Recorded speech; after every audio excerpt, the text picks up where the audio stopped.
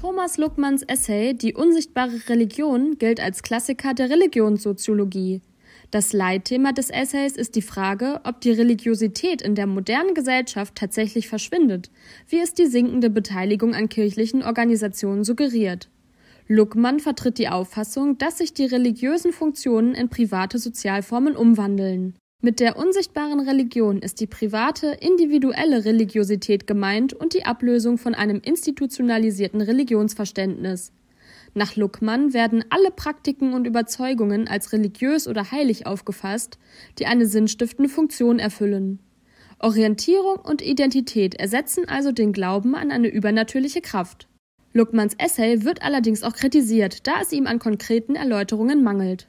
So bleibt unklar, weshalb alles, was Identität und Orientierung stiftet, religiös sei. Das spezifisch Religiöse gehe durch diesen Ansatz verloren. Auch bewusst areligiöse Wertesysteme wie der Atheismus würden nicht angemessen berücksichtigt